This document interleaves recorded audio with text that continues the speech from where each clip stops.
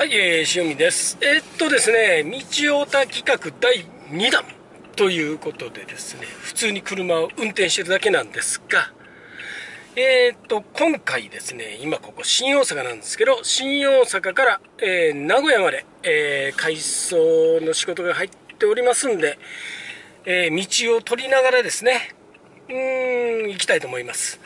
今日まあ昼間なんでね、全然 OK かと思います。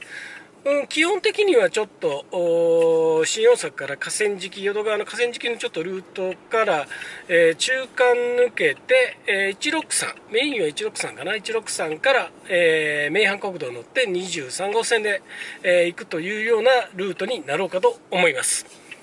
それでは行ってまいります。安全第一です。では行きます。ピュー。